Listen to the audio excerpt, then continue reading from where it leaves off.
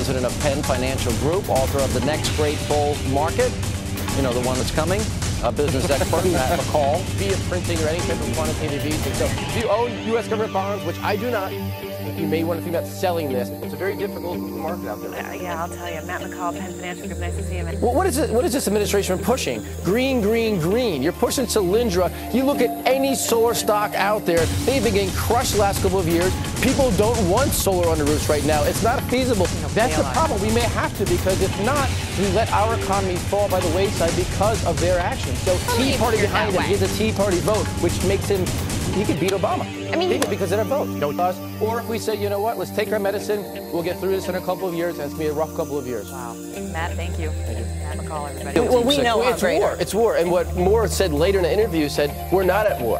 Well, then what, if this isn't war, then what is war? Is what I'd like to ask him. And then he went on to say, well, it will hunt you down.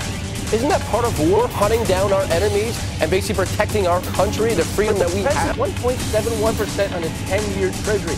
Who in their right mind would loan the U.S. government money for 10 years at 1.7% per year? Well, you look at HP, over the, since 1999, seven different CEOs. You can't find that much turnover in any big Fortune 500 company. So I think right now they're reeling so bad that they have to kind of go to that old veteran quarterback on the sideline they know has done well in the past. And even if that gets them going for the next 10 to 12 months, that's enough to, to get them get them in the right direction because right now they have nothing going for them. And I can't believe Meg Whitman actually took this job. But as of 2007, there have been 25 lawmakers that have been charged with serious crime.